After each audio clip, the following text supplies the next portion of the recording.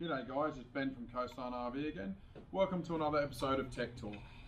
Frequently asked questions guys and uh, we've had some clients ask 240 volt power connection to your 15 amp caravan. So predominantly caravans are either kept at our houses or in storage.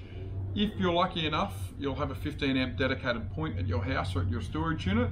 For the most of us, we don't.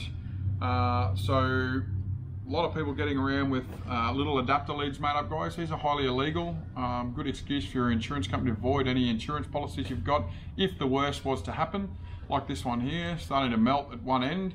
Um, they were readily available for a long time however have always been illegal. Um, so you've either got two choices when it comes to plugging your caravan or motorhome into power at home in your storage yard. So one is to get a dedicated 15 amp point installed by a licensed electrician at your house.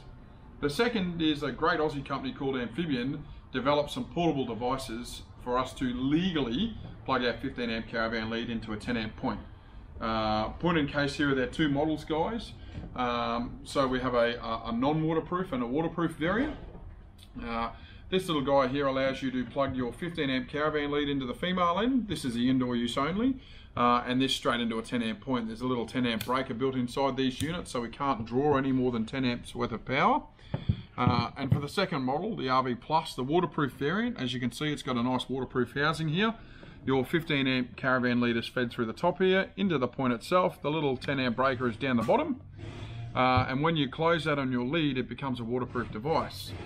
Uh, these have become very important in our industry and uh, especially for the end user so that you're guaranteed uh, that your insurance policies are all up to date and nothing's going to be voided if the worst was to happen. The next thing is all your caravan leads have changed. The female plug-in has now uh, got a mandatory collar on it so we're having some difficulties with the old Clipsal power inlets not being able to be uh, fitted with the new leads.